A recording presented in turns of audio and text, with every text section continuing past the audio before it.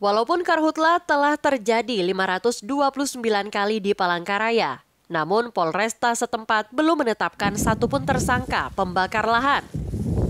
Kepala Bidang Humas Polda Kalteng, Komisaris Besar Polisi Erlan Munaji, beberapa waktu lalu mengatakan, pihaknya mengimbau para Kapolres, khususnya Palangkaraya, agar aktif menindaklanjuti karhutla di wilayahnya, karena menjadi perhatian khusus Kapolda Kalteng.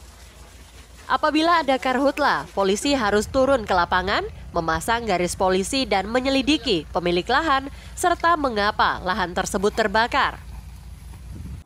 Saya menghimbau kepada para kasatker, khususnya kasatwil, dalam hal ini Polres, agar selalu aktif dalam hal uh, menindaklanjuti berkaitan dengan karhutla, terutama berkaitan dengan pengungkapan kasus. Ini menjadi atensi Bapak Kapolda untuk setiap Polres agar mengoptimalkan proses penyelidikan dan penyidikan. Minimal apabila ada karhutla ataupun pembakaran lahan minimal kita melakukan polis lain sehingga melakukan proses penyidikan.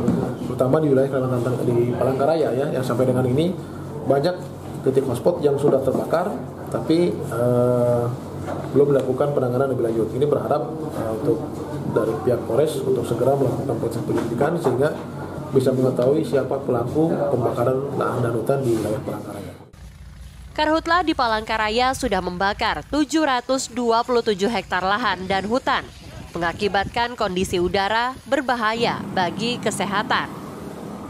Dari Palangkaraya, Ririn Binti dan Syahrul Mubarok melaporkan.